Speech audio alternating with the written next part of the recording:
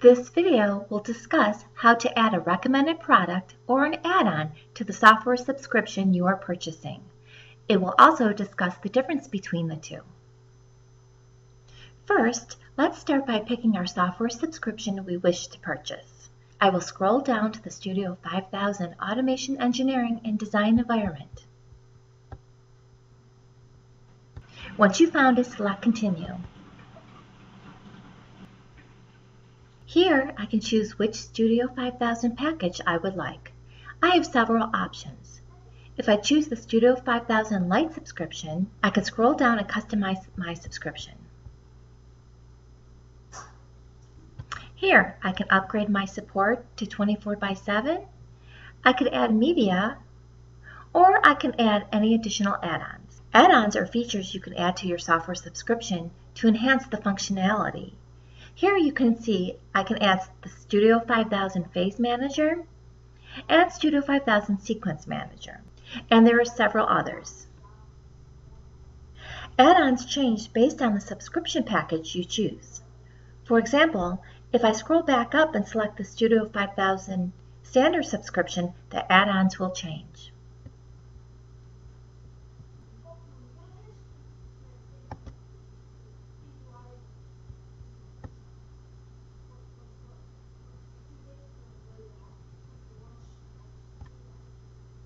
I will choose to keep the current support option of 8x5 support.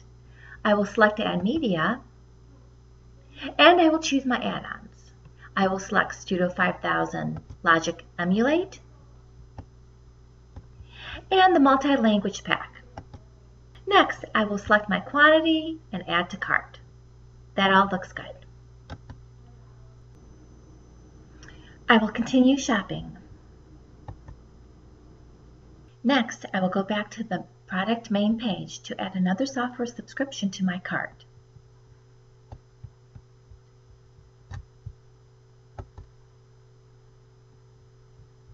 I will scroll down and select the PlantPAx.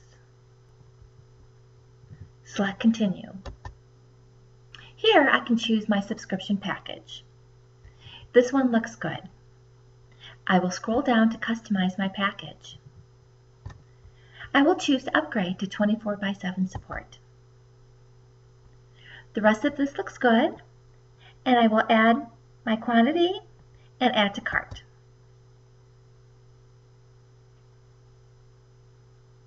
I will continue shopping.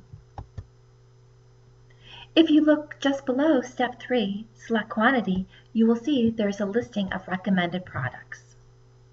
Recommended products are suggestions of software products that complement your software subscription you are purchasing, or they can help you build your bill of material.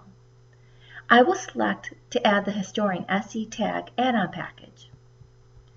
I will select one and add to cart. I will now check out. I am now in my shopping cart. Here you can see the software subscriptions I selected. They are listed as line items in my cart. Studio 5000 Standard subscription, the PlantPAx subscription, and the recommended product I added, the Historian SE 1000 Tag Add-on Perpetual.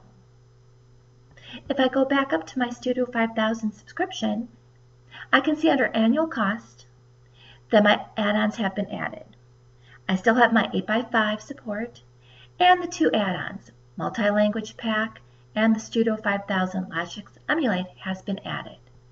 Also, the media has been added. These add-ons are listed under the annual cost. Again, recommended products are listed as a line item in your shopping cart. This concludes how to add a recommended product or an add-on to your software subscription.